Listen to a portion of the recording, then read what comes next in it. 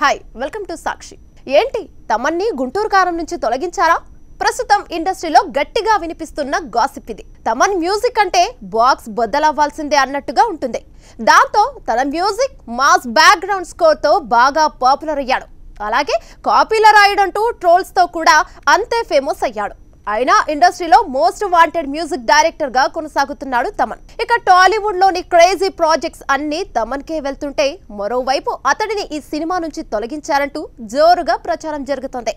రీసెంట్గా ఈ movie first గ్లిమ్స్కి కూడా బ్యాక్గ్రౌండ్ స్కోర్ ఇచ్చి మార్క్ చూపించాడు తమన్.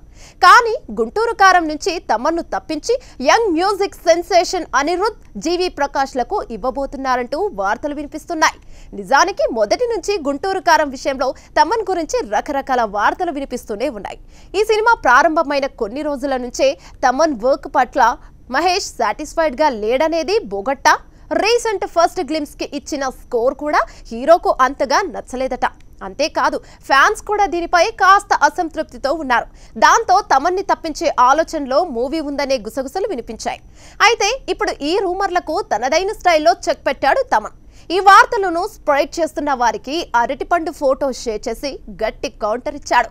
కడుపు మంటకు అరటిపండు బాగా పనిచేస్తుంది అంటూ తొక్కవలచిన బనానా ఫోటోను ట్విట్టర్లో షేర్ చేశాడు. ప్రస్తుతం తమన్ ట్వీట్ హాట్ టాపిక్గా మారింది. కడుపు మంటతో కొందరు తనపై కావాలనే రూమర్స్ పుట్టిస్తున్నారనే అర్థం వచ్చేలా ఈ పోస్ట్ పెట్టాడని అంతా మాట్లాడుకుంటున్నారు. ఇలా గుంటూరు కారం మూవీ నుంచి తాను వెళ్ళిపోలేదని తమన్ ఇలా కన్ఫర్మ్ చేశాడు. మరి ఇకనైనా ఈ రూమర్లకు చెక్ పడుతుందో లేదో చూడాలి.